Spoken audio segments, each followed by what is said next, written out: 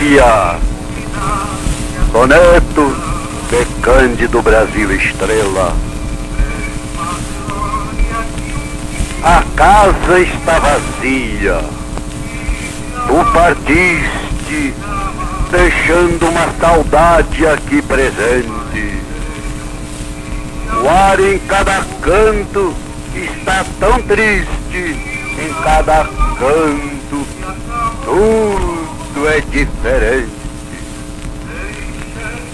A casa silenciou. Já não existe. A constância pedir-lhe de pão quente. E o Drauzio, atento e amigo, como viste, também já não está. Se fez ausente. Mas tu deixaste aqui lembrança boa. E a tua palavra ainda ressoa no arranjo diário deste lar. Porque deixaste tudo direitinho, deixaste em cada canto o teu carinho, deixaste em mim tua alma palpitar.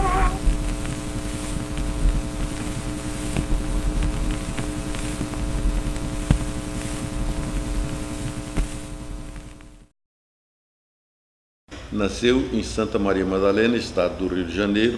Eram vários irmãos e já em, com é, ele era jovem ainda, com 14 anos, 15, 16 anos ele foi para estudar em Paris. Pediu para o pai dele se ele pagava a viagem para ele, pra, naquele tempo. E ele foi, o, o pai dele falou, eu tenho um dinheiro para receber de um, de um, amigo meu aqui, se você conseguir receber esse dinheiro, eu dou para você ir, está compreendendo? E ele foi lá conversou com a pessoa, ele era muito, ele tinha uma dialética já desde de pequeno, e fora, e o centro resolveu pagar para ele, ele falou por que era o motivo, e, e ele então recebeu e foi estudar no Rio de Janeiro. Ele foi em 1900, na, em Paris, em 1910 conhecimentos gerais, afinal de contas, que foi para se aprimorar. E voltou, isso foi em 1910, teve que voltar em 1914, porque eclodiu a Primeira Guerra Mundial, e aconselhar a todos que estivessem fora voltar para o Brasil, para, para suas, seus países de origem, e ele e meu tio voltar então em 1914.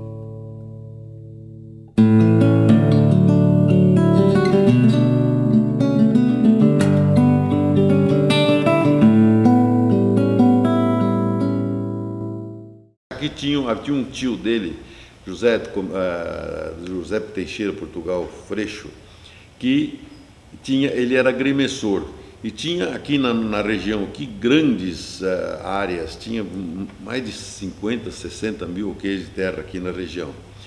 E ele então, meu tio trouxe ele para cá e começaram a abrir uma fazenda aqui perto, Fazenda Colombo, e depois Fazenda Brasil, ultimamente na Fazenda Brasil.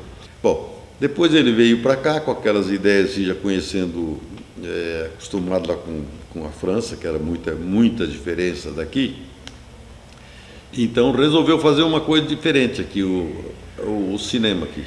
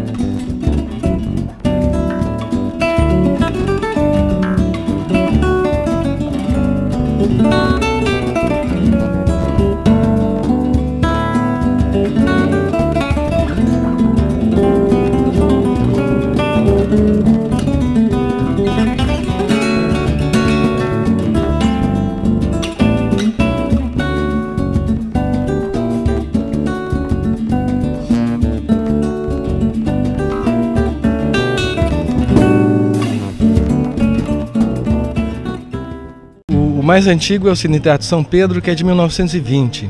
Né? É, é um projeto é, construído pelo Cândido Brasil Estrela, que foi um, um, mecenas das artes, né? E ele era um fazendeiro e cafeicultor e ele investiu em cultura de Mirassol. Inclusive o Cine Teatro São Pedro, ele tinha um, um subtítulo que era o Palácio das Artes e da Alegria. Né? Então ele trazia para a região né? porque é o único edifício com características semelhantes, inclusive com três andares, era o Cine Teatro São Pedro, o único em toda Araraquarense. Foi um projeto ousado. Né? É, e ele tinha conhecimento, tinha alguma amizade com é, o Ramos de Azevedo. Né? E o esboço do projeto foi feito pelo Ramos de Azevedo.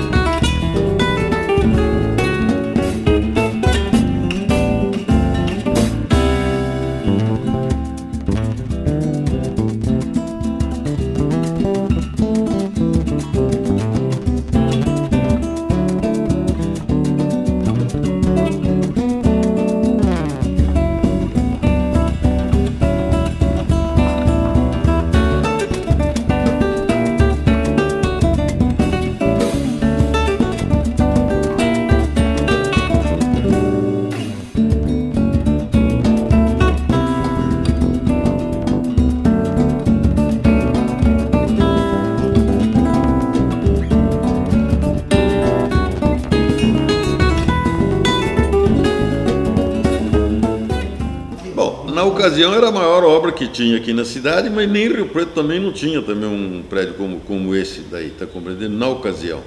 E ele começou a, a fazer em, que nem falei, em 1925, inaugurou em 1929. E na ocasião ele trazia companhias famosas para cá, tá, tá compreendendo? Fazia questão de trazer e tudo isso aqui, era, era um era uma novidade muito grande que eh, contrastava com a simplicidade que, que tinha predominante aqui na cidade.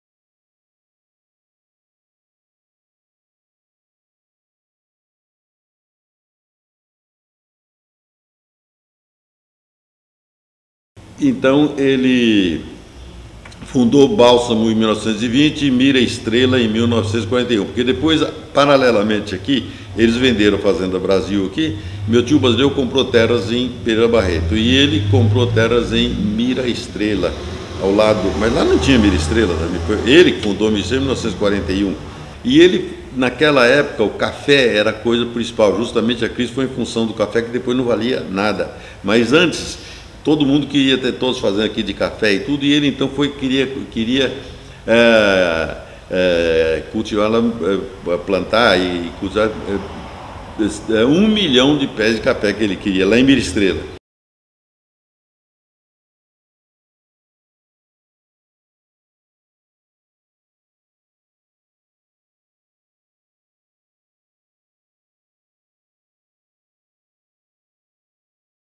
Fundação Canto isso ele criou em 1952.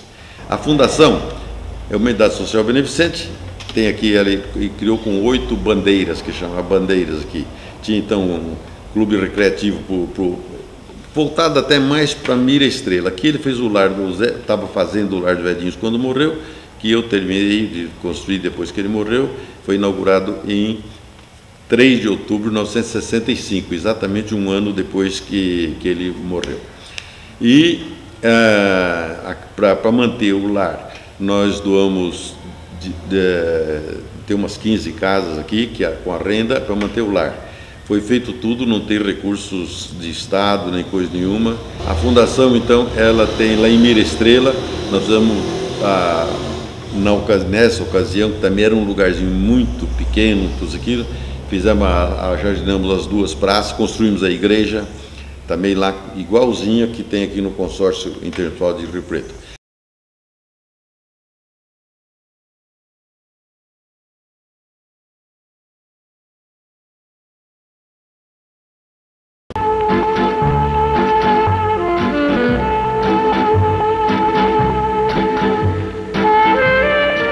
Inúmeras autoridades eclesiásticas, civis e militares aguardam o início da cerimônia de posse do novo presidente do consórcio sobre menores.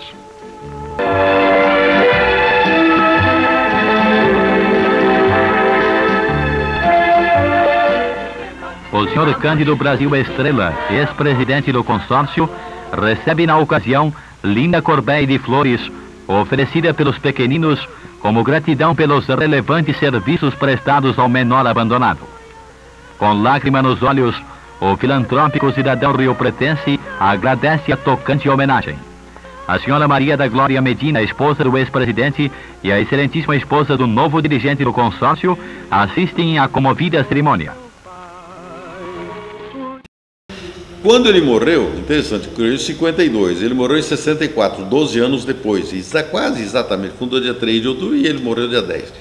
Exatamente. Aí ele morreu, eu era o provedor da fundação, e eu peguei, tinha um promotor aqui em Mirassol, o doutor Franza Luiz Dobert, Dobert, lá de São José do Rio Preto, ele era promotor aqui, eu então falei para ele, por favor, para dar uma olhada à, situação jurídica da fundação.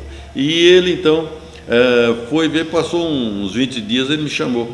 Eu peguei e falei, falou, a fundação tá, tem tudo isso que a gente conhece aqui, tudo isso aqui, só que praticamente ela existe de fato, de direito não, porque toda fundação tem que ser criada através de uma escritura pública ou de um testamento. E ela não tinha nem escritura pública, foi, criada com estatutos que registrado em cartório, adquiriu como outras instituições são, outras entidades são. No caso específico, fundação é diferente. Eu falei, isso é uma curiosidade. Eu falei, mas e daí, doutor, então, esse patrimônio dela todo aí, né? Ele falou, ah, vocês estão fazendo inventário, é de vocês, não, não existe, é de vocês. Mas eu, com aquela promessa dele que eu te falei aqui, peguei, reuni minha mãe, meus irmãos, eu era o mais novo, bem mais novo que os outros, reuni meus cunhados, tudo aquilo, e resolvemos fazer tudo exatamente como ele queria. Então instituímos a fundação em 1965, com, aí sim, com escritura, com base em escritura e tudo, e também fizemos uma escritura de dotação da fundação dos bens que ela tem todos, os mesmos que ela já tinha, é, ele tinha doado, e aí, mas aí doamos para a fundação. Então nós reinstituímos a fundação.